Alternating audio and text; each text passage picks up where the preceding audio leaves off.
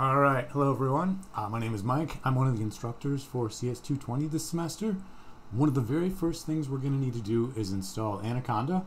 This is the Python distribution we'll be using for the class.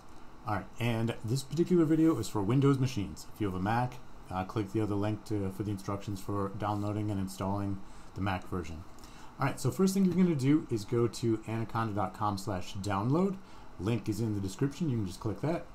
Uh, to download the Windows version, you click download with the little Windows icon.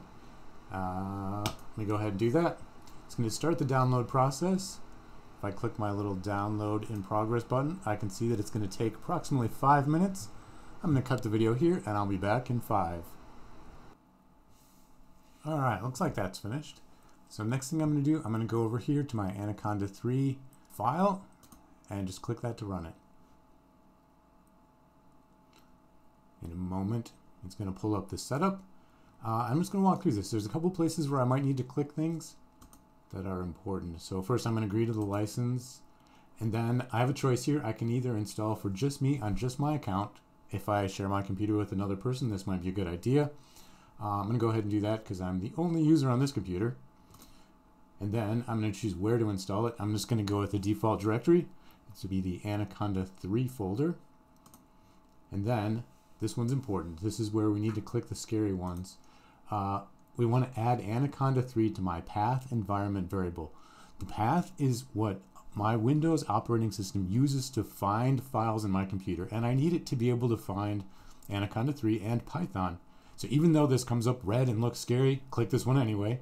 This means we can use it in PowerShell. we want to use Python as our default version. That's great. And I don't need extra junk on my hard drive when I'm done, so I'm going to click that one also. So click all four of them. And then install. All right, it's completed. I'm going to click next and then next again. All right, I don't need the launch to get started. I'm going to do uh, one more thing before we uh, run this. So I'm finished. At this point, I'm going to go and I want to open PowerShell. So I'm going to push the Windows key or click on the little Windows button. It's going to bring up, um, I can search for applications on my computer. I'm going to click the search bar. What I'm looking for is PowerShell. I want just the straight up first one, um, Windows PowerShell. I'm just going to open this. And now this is going to give me a command prompt. This is also known as a terminal. The terminal lets me type in two things. I can navigate my file system and I can run programs. So the first one I want to do is run uh, Python and ask for the version. So that's Python space dash dash version, no space between the dashes and version. This should tell me that I've got Python 3.11.5 installed. At the time of the recording, this is the latest version of Python. That's fantastic. The other thing we're going to need to install is Otter Grader. That's uh, the software that Python uses to grade your homework, so we'll need that. To install that, we're going to run a program called pip. You can see it's yellow there. Uh, we're going to tell pip to install, and the package we want is otter, O-T-T-E-R dash grader with no space. Enter. And this should go ahead and uh, download all the required files and install Otter Grader for us.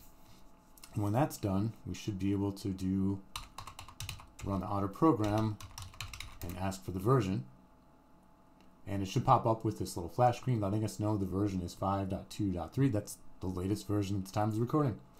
All right, finally, one more check to make sure everything has worked. We're going to call the program Jupyter. That's part of the Anaconda distribution we just downloaded. Uh, run the notebook program.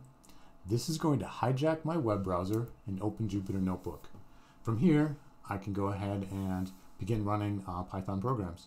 Uh, if I want to do that, I'll go to New, open a Python 3 kernel, this is going to open up my Jupyter Notebook and I can write a very short program. Print. Welcome to CS220 slash CS319. All right, to run that, I just need to click the run button and it'll print that out for me. Okay, have a fantastic day, everybody, and I will see you in class.